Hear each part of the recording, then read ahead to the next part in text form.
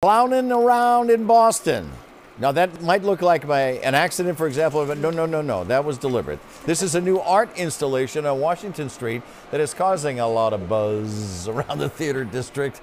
Those are two inflatable clowns that are peeking out from a small alley. The exhibit, entitled Endgame, is part of the free art experience called Winter Active. The initiative was created by the Downtown Business Improvement District and will include a series of interactive works meant to brighten up the city during the winter.